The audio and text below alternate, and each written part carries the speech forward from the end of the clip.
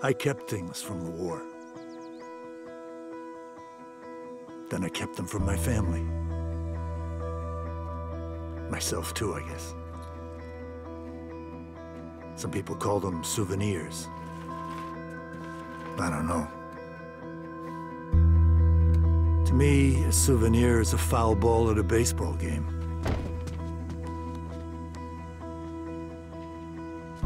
It doesn't belong to you. These are fragments of memory.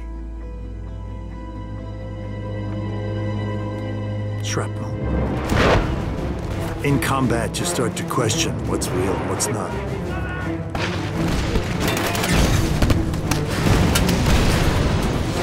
You take things along the way. Because if those things were there, then you were there.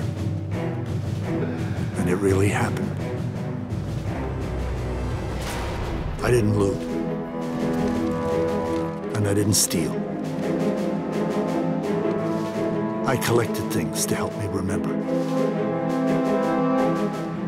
What I didn't count on is... They don't let you forget. You found the footlocker, Kylie. So, I'll make a deal with you. Pick any three, and I'll tell you the story behind each one. God willing,